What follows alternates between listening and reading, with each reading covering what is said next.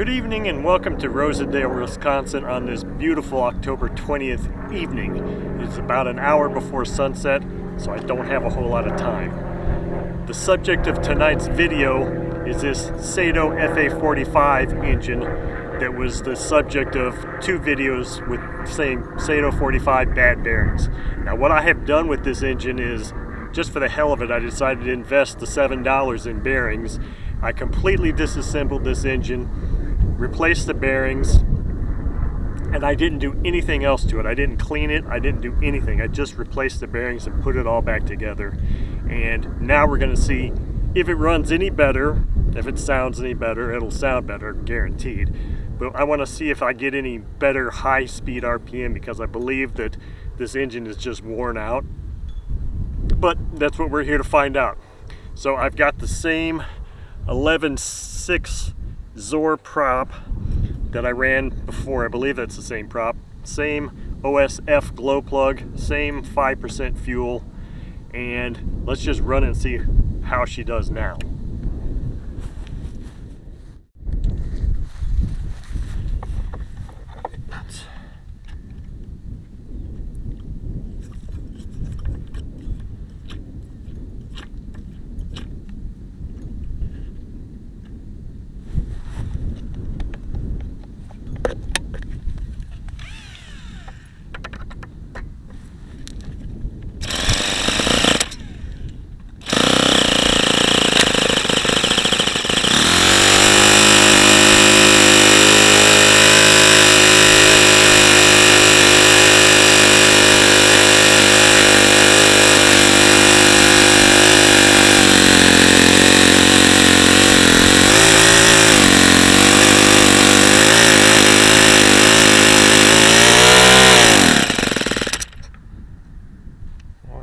Interesting. It's already getting really hot. It was barely doing anything.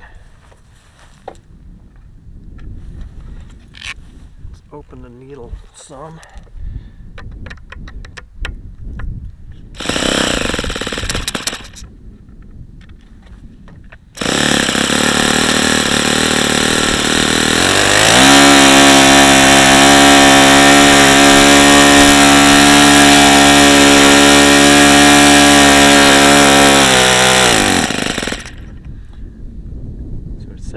84 there before it shut down again. I don't know. I think I was right. Maybe this engine is just toast. Maybe it's just not a good engine.